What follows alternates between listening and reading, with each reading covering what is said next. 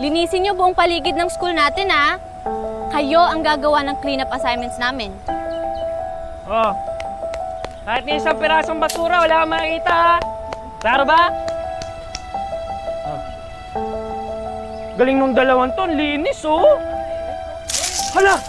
Dumami! Ayan, tanim lang kayo. Sama mo pa yung tenga mo, oh. Ayan, oh. Ayusin nyo. Ah, Jeff.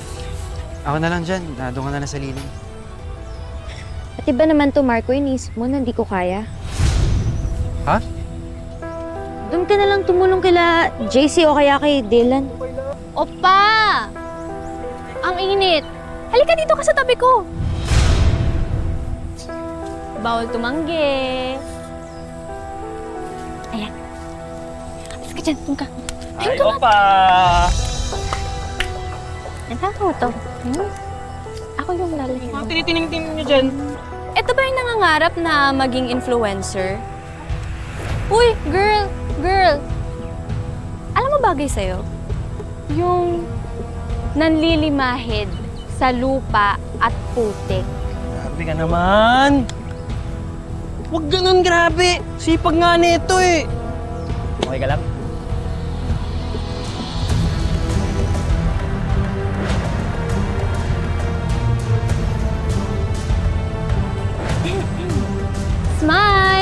Say, mugshot! Sa kaliwa. Huli ka! Literal. Ayun. Pag humarap ka, magnanakaw ka.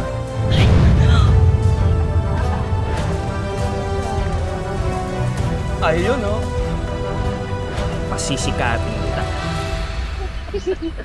Yan mo na yun, Ash. Ash. Ashley.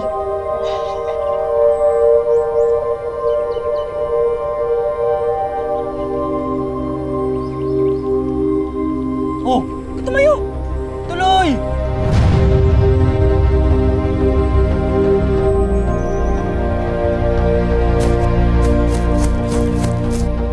Tawagin niyo yung polis para nakatakas na.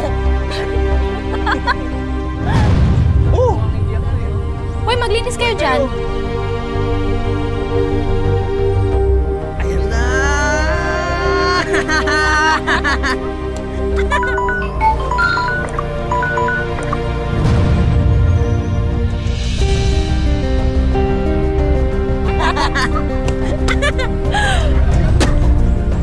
lahat ng ipon ko.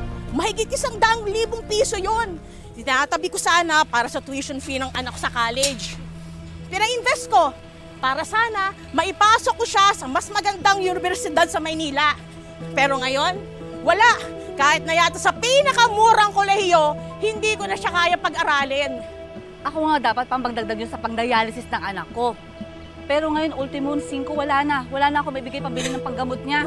Naku kami nga rin, ipagpa-opera sana ng asawa ko. Binigay niya pa kay Pilar. Para lang dito sa pamilya niya. Talagang mag-inang to, talagang hindi ko mapagkakatiwalaan. Ang kapal talaga ng mga mukha eh.